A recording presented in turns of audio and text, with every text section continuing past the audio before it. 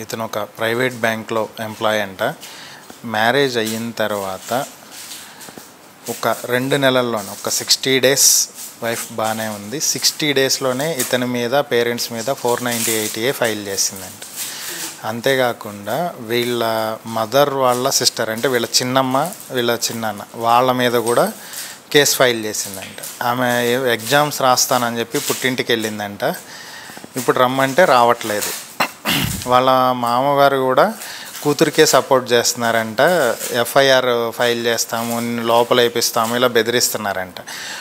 ఓ ఫైనల్గా అసలు ఏంటి ప్రాబ్లం ఏంటని అడిగితే కావాల్సింది ఏంటంటే ఇతను ఇల్లరికం వెళ్ళటం కావాలంట. పోనీ ఇల్లు ఏమైనా చాలా దూరంగా ఉంది భార్య ఏమైనా ఇబ్బంది పడుతుందా అనుకుంటే వీళ్ళ ఇంటి దగ్గర నుంచి నాలుగో ఇల్లే అమ్మాయిదంట. సో వాళ్ళ పేరెంట్స్ దగ్గరికి రెగ్యులర్గా పంపిస్తుంటాడంట. వెళ్ళరా అమ్మ నీకు దిగులు ఉంటే వెళ్ళరా చూసిరా. వెళ్ళి వస్తుండే వెళ్ళేటప్పుడు హ్యాపీగా వెళ్తానంట. వచ్చేటప్పుడు రాలేక రాలేక వస్తుందంట. సో ఇది పరిస్థితి. నేను ఎంత చెప్పినా కానీ అర్థం చేసుకునే పరిస్థితి లేదు.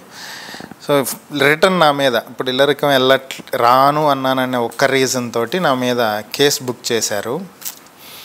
ఇలా ఇష్యూస్ క్రియేట్ చేస్తున్నారు. నేను ఏదన్నా గట్టిగా మాట్లాడితే అరవటం గొడవ పెట్టుకోవటం బ్లాక్మెయిల్ చేయటం నా ఆఫీస్కి వచ్చి నా మీద ఎఫ్ఐఆర్ ఫైల్ అయిందని చెప్పి మా హెచ్ఆర్కి చూపించి నన్ను ఆఫీస్లో కూడా ఇబ్బంది పెట్టడం ఇది పరిస్థితి. ఏం చేయాలి? ముఖ్యంగా అవకాశాలు ఎంత ఇస్తే అంత ఎక్కువ చేస్తారన్నట్టుగా ఉంది సామెత.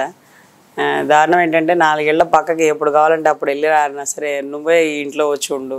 చాలా వరకు వేరే కాపురం అంటే సపోర్ట్ చేస్తారు మరీ ఇంత దారుణంగా ఇల్లరికం ఇంత అవకాశం ఇచ్చినా సరే పుట్టిల్లు ఇంత దగ్గరలో ఉంటే అంత హ్యాపీగా ఉంటుంది ఆడపిల్లలకి.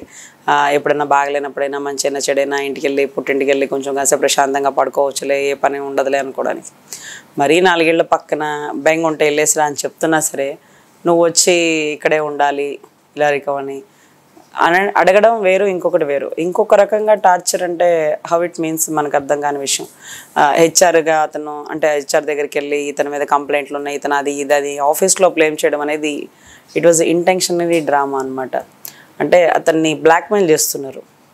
ప్రేమతో ఒక బంధాన్ని పొందవచ్చు కానీ పగతో ప్రతీకారంతో లేకపోతే బ్లాక్మెయిల్తో అలా చేస్తే అది ఎక్కువ కాలం నిలబడదు. దేనికోసమో మీ దగ్గరకు వస్తారు అది లేకపోతే వెళ్ళిపోతారు. అదే ప్రేమతో దగ్గరకు వస్తే ప్రేమ లేకుండా అంటూ ఉండదు కదా. సో లైఫ్ లాంగ్ వస్తారు. మీరు డబ్బులు ఎర చూపించో లేకపోతే ఎస్ఐతో బెదిరిపించో లేకపోతే కోర్టులో కేసులు వేస్తానని భయపెట్టించో లేకపోతే పెద్దల పంచాయతీలో పెద్దలందరినీ మీ వైపు తిప్పుకునో ఇవంతా ఇవాళ ఉంటే రేపు పోతాయి. కానీ శాశ్వతంగా ఉండేది ప్రేమ లవ్ అండ్ ఎఫెక్షన్. అది లేదు మీ దగ్గర. అన్ని అవకాశాలు ఇచ్చినా ఇంకా ఏదో ఇంకా ఏదో ఇంకా ఏదో అంటే తవ్వే కొద్దీ ఒక అగాధంలో నీళ్ళు ఎంతవరకు వస్తుంది?